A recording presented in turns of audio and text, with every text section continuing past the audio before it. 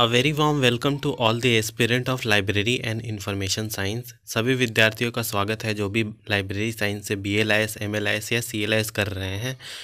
तो इस वीडियो में स्टूडेंट हम आप सभी को जो आगे का जो लेक्चर है जिसमें हमने थर्ड पार्ट कंप्लीट कर दिया था और ये फोर्थ पार्ट है जिसमें हम आप लोगों का कॉम्पिटिटिव एग्ज़ाम से रिलेटेड जो कि लाइब्रेरी साइंस में जो भी जॉब से रिगार्डिंग प्रिपरेशन कर रहे हैं कॉम्पिटिटिव एग्ज़ाम से रिलेटेड जैसे के हो गया एनवीएस हो गया भी हो गया या फिर किसी भी स्टेट गवर्नमेंट का लाइब्रेरियन का पोस्ट पे अगर एग्ज़ाम का वैकेंसी निकलती है तो उन सभी क्लासेस के लिए, उन सभी एग्ज़ाम के लिए ये हमारी जो क्लासेस है, ये बहुत यूज़फुल रहने वाली हैं। क्योंकि हम वेरियस एग्ज़ाम का जो आया हुआ जो क्वेश्चन है, वही आप लोगों के सामने हम डिस्कस कर रहे हैं, जिससे आपको वैरायटी ऑफ़ क्वेश्चन देखने को मिलेगा और कहीं से भी एक भी क्वेश्चन ऐसा नहीं रहेगा जो कि हम आपको स्किप कराएँगे। तो ऑलमोस्ट आप लोगों का हर तरीके से हम लोग प्रिपरेशन करवाने वाले हैं। तो ऑलरेडी हमने तीन वीडियो डाल दिए, अगर आपने वो वाले नहीं देखे हैं तो ऊपर आई बटन पर क्लिक करके वो वाले वीडियो पहले देख लें। और इस वीडियो में हम फर्दर आगे कंटिन्यू करेंगे, जो कि पार्ट फोर रहेगा। तो चलिए आज का लेक्चर स्टार्ट करते हैं। तो देखिए, इस वीडियो में हम हिंदी और इंग्लिश दोनों लेके आए हैं, क्योंकि हिंदी वाले स्टूडेंट भी हैं, जो कि हिंदी मीडियम से हैं, जो हिंदी मीडियम से कर रहे हैं तो उनके लिए भी आसान रहेगा। पर हम एक ही लैंग्वेज में पढ़ेंगे, क्योंकि दोनों लैंग्वेज में अगर हमने पढ़ना स्टार्ट किया तो फिर बहुत लेंदी हो जाएगा और ज़्यादा क्वेश्चन भी कवर नहीं होगा। तो इसीलिए हिंदी वाले स्टूडेंट साइड बाई साइड आप लोग यहाँ से पढ़ते रहें। बाकी मैं इंग्लिश में समझाता जाऊँगा क्या क्या क्वेश्चन है, कैसे सारी चीज़ें हैं तो इससे आपको अच्छा इसमें जल्दी जल्दी क्वेश्चन होंगे और ज़्यादा से ज़्यादा क्वेश्चन आपका कवर होगा। तो चलिए स्टार्ट करते हैं। सबसे पहला क्वेश्चन है what is the main objective of Raja Ram Mohan Roy library foundation. Raja Ram Mohan Roy जो लाइब्रेरी फाउंडेशन है, उसका मेन ऑब्जेक्टिव क्या है? तो इसमें चार ऑप्शन दिए गए हैं। मैं सिर्फ़ मतलब आंसर जो करेक्ट ऑप्शन है वही बताऊँगा।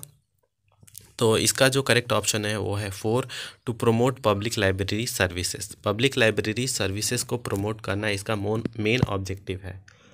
क्वेश्चन नंबर सेकंड है, देखिए साइड बाय साइड हिंदी का भी चल रहा है तो आप लोग वीडियो को पॉज करके अगर चाहे तो नोट भी बना सकते हैं और चाहे तो लिख भी सकते हैं, चाहे तो समझ सकते हैं।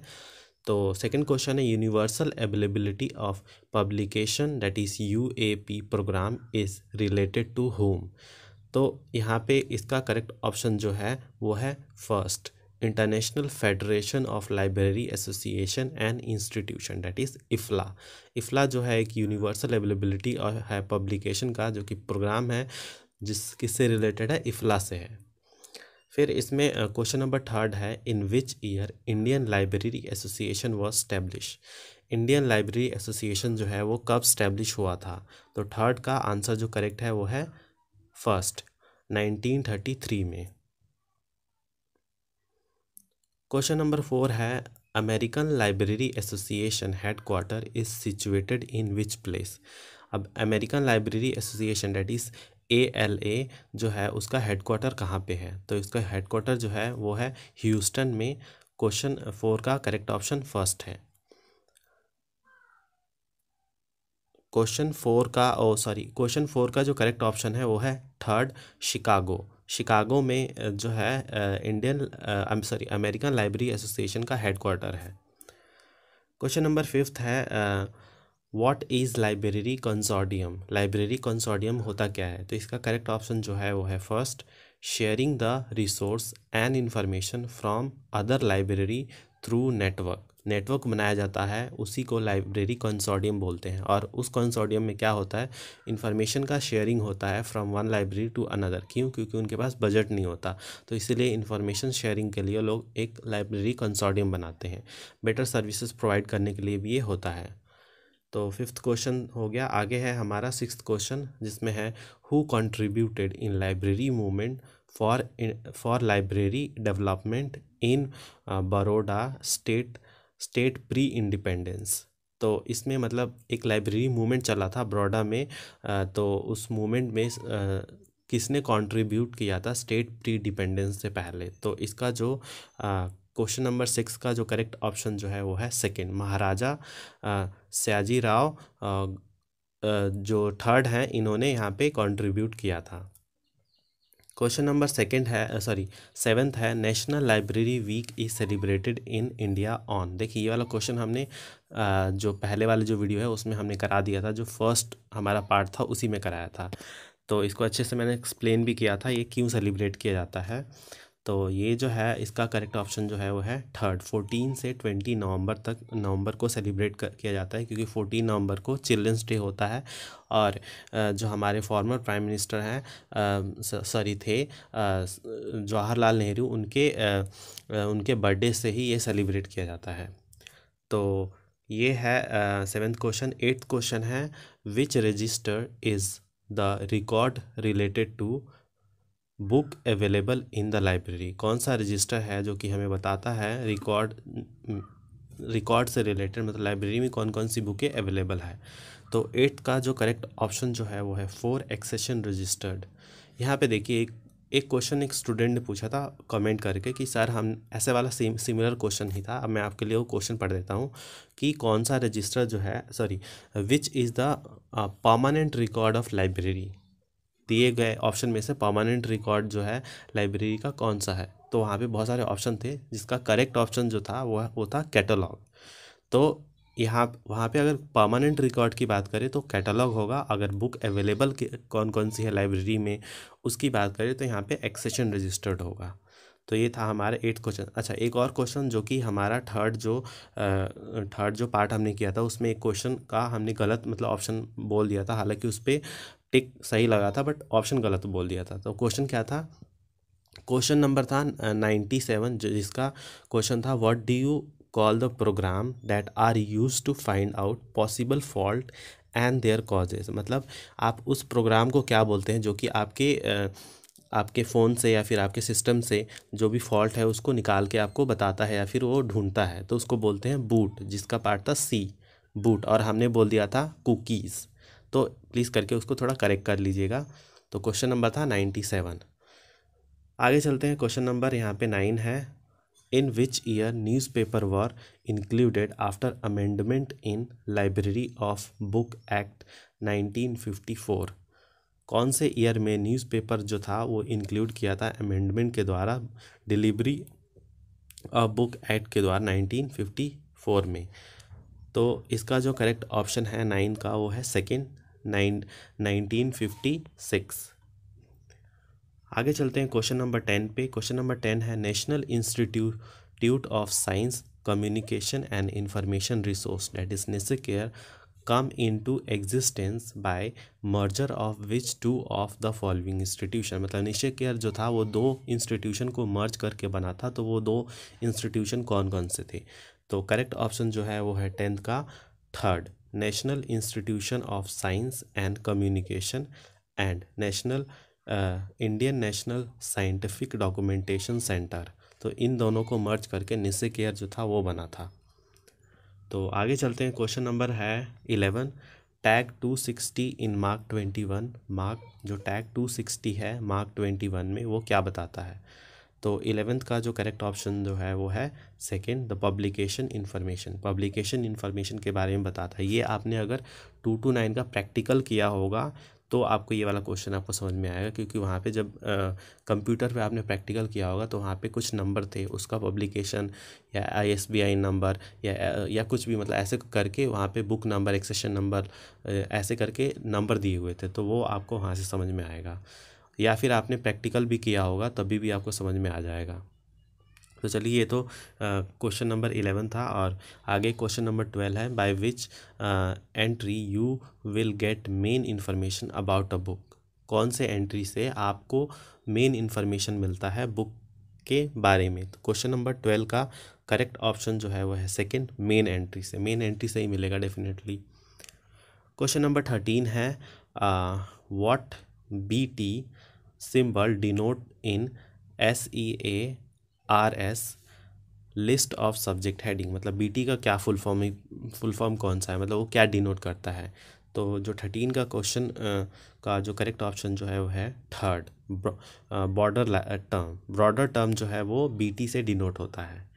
आगे क्वेश्चन फोर्टीन है what is the standard size of catalogue card for entries of book catalogue card की स्टैंडर्ड साइज़ क्या होती है, जिसमें हम एंट्री करते हैं बुक की।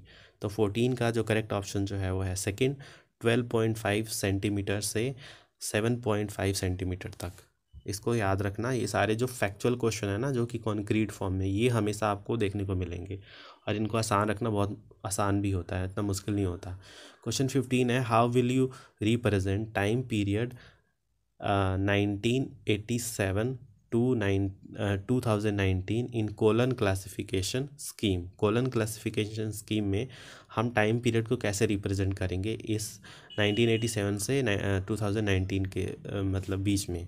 तो इसका फिफ्टीन का जो करेक्ट ऑप्शन जो है वो है फोर यहाँ पे N eighty O sorry four P nineteen से एन एटी सेवन तक। ऐसे करके मतलब हम डिनोट करते हैं कोलन क्लासिफिकेशन में। और हाँ एक क्वेश्चन मैंने वीडियोस में पूछा था कि कोलन क्लासिफिकेशन किसने दिया है? तो अभी तक किसी ने भी रिप्लाई नहीं दिया। चले, हम ही बता देते हैं। कोलन क्लासिफिकेशन जो है, वो डॉक्टर एस आर रंगनाथन ने दिया था। और डीडीसी दिया था डिवे मेलवी डिवे ने। क्वेश्चन सिक्सटीन है which type of notation is use in colon classification scheme colon classification scheme में कौन सा टाइप का नोटेशन यूज़ किया जाता है? तो सिक्सटीन का करेक्ट ऑप्शन जो है वो है सेकेंड मिक्स नोटेशन क्यों? क्योंकि उसमें वर्वल प्लेन आता है नोटेशनल प्लेन आता है, ये सारी चीज़ें आपको देखने को मिलती हैं। फिर according to colon classification in facts formula of O literature P facts denote to which term तो यहाँ पे बोल रहा है कोलन क्लासिफिकेशन में जो फार्मूलाज है O literature P facts denote जो करता है वो किस से किस टर्म से डिनोट करता है? तो सेवनटीन का जो करेक्ट ऑप्शन जो है वो है थर्ड लैंग्वेज से। देखिए, आज के जो क्वेश्चन होने वाले हैं थोड़े हाई लेवल के हैं तो इसीलिए आपके दिमाग से निकल निकल जाएगा कुछ क्वेश्चन तो ये तभी होगा जब आपने अगर बी का थेरी पढ़ा होगा सही से। और थेरी हमने पूरा डिटेल में चैप्टर वाइज चैप्टर वी की थेरी करा रखी है। तो अगर आपने वो अच्छे से पढ़ा होगा तो ये सारे क्वेश्चन आप चुटकी बजाते ही आपको सॉल्व कर लेंगे या देखते ही आपको मतलब समझ में आ जाएगा हाँ इसका आंसर क्या है? चलिए आगे चलते हैं एटीन क्वेश्चन पे। Match the following classification scheme according to their list publication year मतलब कौन सा पहला पब्लिकेशन हुआ था, फिर सेकंड कौन सा हुआ था थर्ड कौन सा हुआ था, ऐसे करके। तो इसका भी करेक्ट जो ऑप्शन है वो है सेकंड पहले सेकंड वाला मतलब ये वाला यूनिवर्सल डेसिमल क्लासिफिकेशन फिर फ़र्स्ट वाला डिवे डेसिमल क्लासिफिकेशन फिर फोर्थ वाला द बिब्लोग्राफिक क्लासिफिकेशन स्कीम और फिर उसके बाद थर्ड वाला कोलन क्लासिफिकेशन स्कीम तो ये है करेक्ट सीक्वेंस ऑफ़ पब्लिकेशन फिर नाइनटीन क्वेश्चन है according to colon classification to the to form class number for bibliography of prime minister which A C I is use colon classification के द्वारा अगर class number निकाला जाए bibliography of prime minister का तो कौन सा ए सी आई का यूज़ करते हैं? नाइनटीन का जो करेक्ट ऑप्शन है, वो है थर्ड वाई सेवन का। In chain procedure subject heading of a document is derive from home chain procedure में सब्जेक्ट हेडिंग जो है डॉक्यूमेंट का, वो किससे डिराइव किया जाता है? तो ट्वेंटी का जो करेक्ट ऑप्शन है, वो है second class number of document, class number of document से ये डिराइव किया जाता है। क्वेश्चन है यहाँ पे twenty first when idea ideas get organize और symbolize in the form of body of idea जब आइडिया जो है वो ऑर्गेनाइज किया जाता है और सिम्बलाइज किया जाता है या फिर तो वो फॉर्म करता है body of ideas a dash is form तो क्या बनता है? तो इसका करेक्ट ऑप्शन जो है ट्वेंटी फ़र्स्ट का वह है सेकेंड सब्जेक्ट बनता है। अ सब्जेक्ट इज़ फॉर्म्ड फिर ट्वेंटी सेकेंड क्वेश्चन है a class number of a book shows class number of book क्या शो करता है? ट्वेंटी सेकेंड का करेक्ट ऑप्शन जो है वह second subject of a book subject of a book जो है, वो क्लास नंबर शो करता है। ट्वेंटी थर्ड क्वेश्चन है twenty first edition of Dewey decimal classification consist of how many volume Dewey decimal classification जो है ट्वेंटी फ़र्स्ट एडिशन का, उसमें कितने वॉल्यूम आपको देखने को मिलते हैं? तो इसका करेक्ट ऑप्शन जो है, वो है फ़र्स्ट फोर वॉल्यूम देखने को मिलता है।